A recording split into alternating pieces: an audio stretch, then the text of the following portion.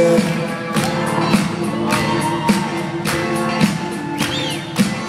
don't need no thought control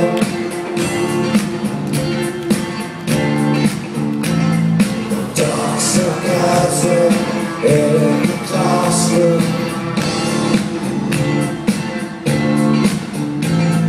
Teacher leave that kids alone